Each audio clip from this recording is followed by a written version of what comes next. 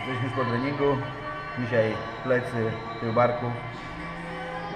Dosyć ciężki trening. Dzisiaj trochę mniejsze ciężary, za to tempo było naprawdę mega mocne. Technika dzisiaj też była trochę bardziej pilnowana. E, jak to wyglądało? Zaczęliśmy od ściągania e, podchwytem na, wys- na, na maszynie. E, Potem przeszliśmy na wyciąg, zrobiliśmy ściąganie w szerokim chwycie do klatki na wyciągu. Następnie przeszliśmy na klosowanie mm, na wyciągu poziomym. E, Potem jedno ciężkie takie ćwiczenie, czyli losowanie sztangielką. Tutaj się staraliśmy troszeczkę tym większych ciężarów używać, żeby też jedno ćwiczenie było dosyć, dosyć ciężkie.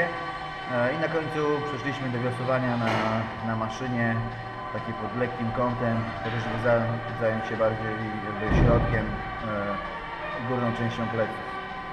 Potem przeszliśmy do serii łączonej na tył barków. E, Dzisiaj robiliśmy takie dosyć ciekawe ćwiczenie, e, które bardzo mocno wpływa na tył barków i na ten cały rejon między łopatkami, e, między barkami. E, Przyciąganie mm, e, z linką wyciągu, z chwytami na łańcuchach do górnej części klatki, czy nawet można powiedzieć bardziej do, do twarzy. I to połączyliśmy ze wznosami, ze sztangielką e, bokiem, leżąc na ławce jednoręcz.